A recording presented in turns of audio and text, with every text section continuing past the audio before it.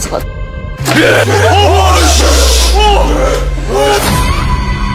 절엔 악귀 들린 불상이 하나 있었죠. 그냥 불상이 아니라 원기가 들러붙은 귀불입니다.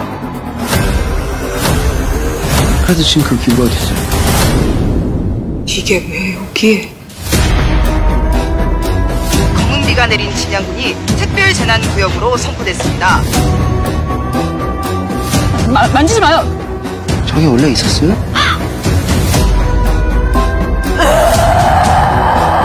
이게 나 그 불상 때문이라고요? 꺼내지 말아야 될 걸 꺼낸 거야 지금.